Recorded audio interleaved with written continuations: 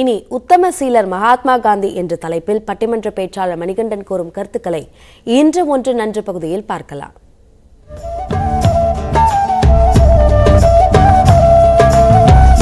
அனைவருக்கும் அன்பு வணக்கம்.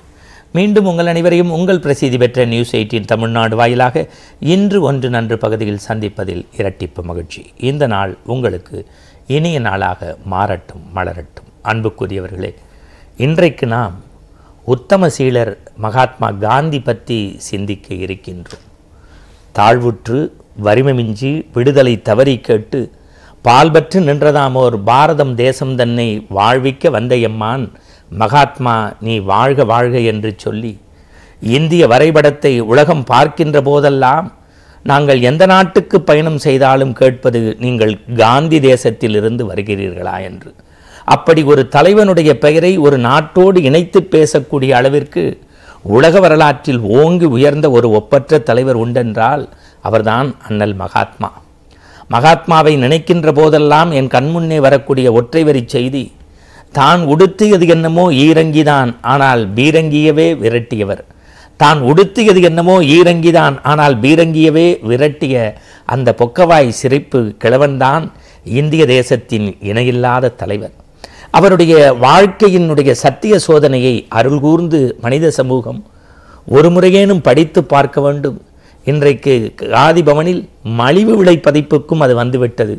ஆனால் ஒவ்வொருவருடைய இல்லத்திலும் இருக்க வேண்டிய அறநூல் புனித நூல் தவநூல் காந்தியனுடைய சத்திய சோதனை.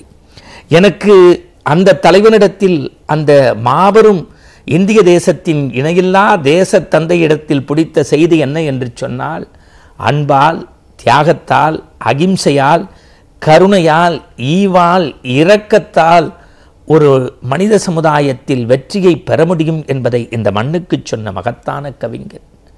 காந்தி என்றவுடன் நம் கண்முன்னே வருவது அந்நியனை எதிர்த்து போராடியது ஆங்கிலேயரை ஓட ஓட விரட்டியது காலனி ஆதிக்கத்தை எதிர்த்தது என்று மட்டும் நினைத்து விடாதீர்கள். இந்த மண்ணில் தீண்டாமை என்கின்ற பாவச் செயலை வேரோடு சாய்த்த பெருமை அண்ணல் மகாத்மாவிற்குத்தான் உண்டு. இன்னும் சொல்லப்போனால் அந்நிய எதிர்ப்பு வலதுகன் என்றால் தீண்டாமை தன்னுடைய இடதுகனாக வைத்துக்கொண்டு தீண்டாமை ஒழிப்புக்காக தன்னை மெழுகாக கருத்திய தியாக தீபம் நம்முடைய அண்ணல் மகாத்மா. மகாத்மா எப்பேற்பட்ட உத்தமர் என்பதை கடலளவு செய்தி ஆனால் கையளவு உங்களுக்கு ஒரு செய்தியை சொல்கின்றேன்.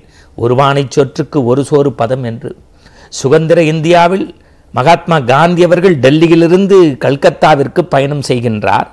அப்பொழுது ரயில் நிலையம் பாட்னாவில் வந்து நிற்கின்றது. அங்கே அவரை சந்திப்பதற்காக அமைச்சர் பெருமக்கள் எல்லாம் வந்தார்கள் பேசிக்கொண்டே இருந்தார்கள். கைகடிகாரம் நொடிமுள்ளை தாண்டி போய்விட்டது.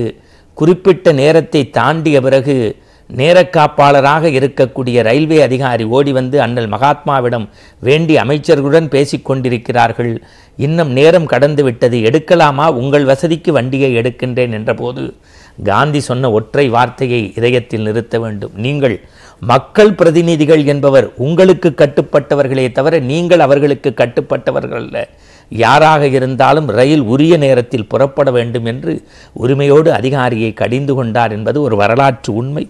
இன்றைக்கும் சொல்கின்றேன் உறவுகளினுடைய நிழல் கூட அங்கீகாரமான பதவிகளின் அருகில் இருக்கக்கூடாது என்று ஆசைப்பட்ட அந்த மகாத்மாவை நாம் இதயத்தில் நிறுத்துவோம். அவருடைய சர்வோதயாவையும் எளிமையையும் அகிம்சையையும் அறநெறியையும் போற்றினால் இந்தியா வல்லரசுடன் கூடிய நல்லரசு. மீண்டும் இன்று ஒன்று நன்றில் நாளை சந்திப்போம். வணக்கம்.